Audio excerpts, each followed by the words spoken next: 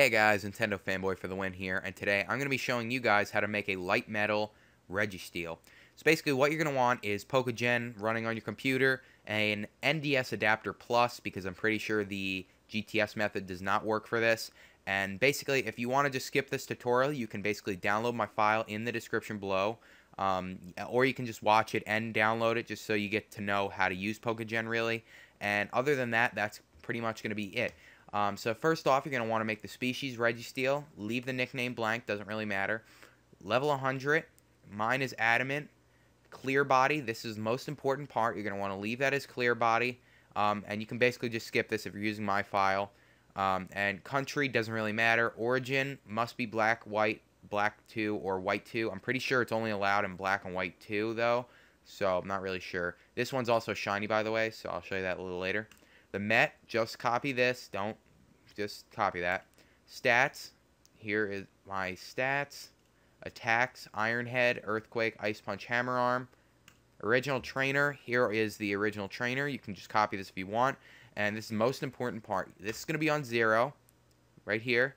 And you're going to want to make that one. So basically, what this signifies, the extra bytes, is it basically signifies a hidden ability.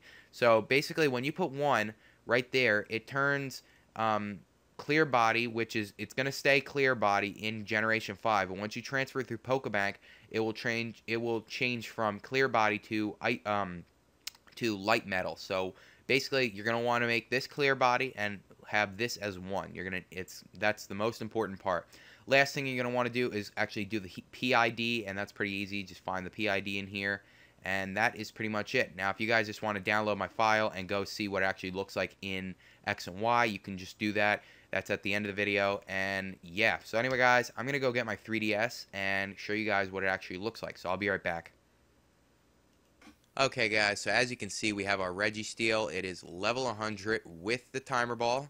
Has the moves Iron Head, Earthquake, Ice Punch, and Hammer Arm. It is also shiny because I like the shininess on it and it has an adamant nature with light metal as you can see and it has the item the choice band because that is a pretty good item.